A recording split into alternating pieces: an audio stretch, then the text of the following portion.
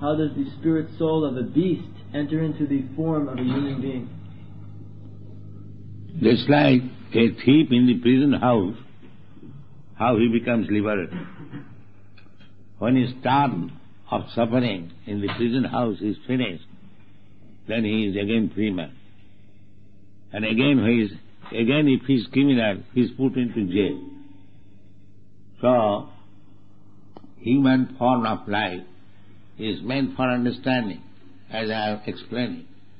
The, what is the problem of my life? I do not wish to die. I am put to death. I do not wish to become old man. I am obliged to become old man.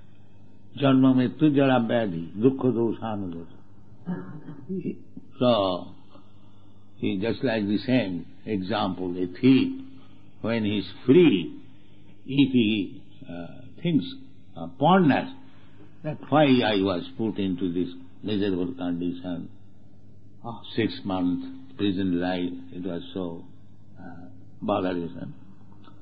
Then he becomes actually human being.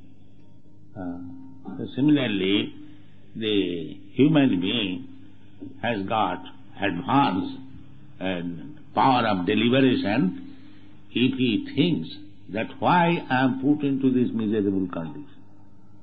Uh, everyone has to admit that he is in miserable condition. He is trying to become happy, but there is no happiness.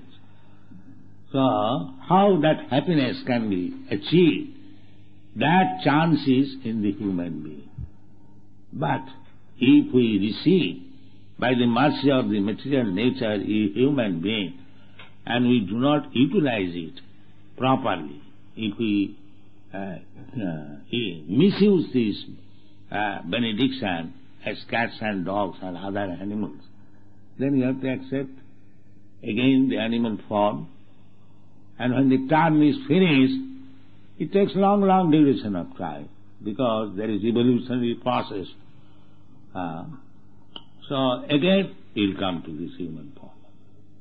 When the term is finished, exactly the same example, a thief, when he has finished his term of imprisonment, he is again a free man. But again he commits criminality, again he goes to jail.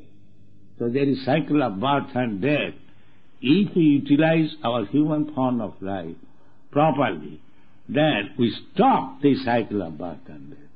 And if we do not use this human form of life properly, again we go to the cycle of birth and death.